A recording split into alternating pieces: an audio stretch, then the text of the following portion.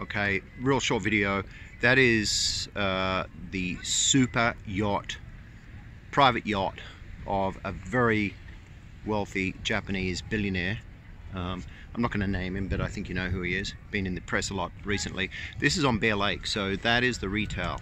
The front's on Bear Lake, and he owns a massive residence up here. He just uses that to sail through the lakes. This is on the Esplanade here, just up on Bear Mountain, and this is a new five star or six star, I think even, hotel, which I'll try and give you a look inside. Three stories high, and they're luxury suites that are built on the lake up here at Bear Mountain. Um, I'll take you all inside if I can get you in there. It's stunning, absolutely stunning. There's nothing like this even in Tokyo.